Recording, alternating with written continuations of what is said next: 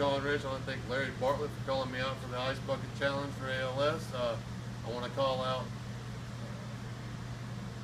Jeremy McPherson, Gary Perone, and uh, Deanna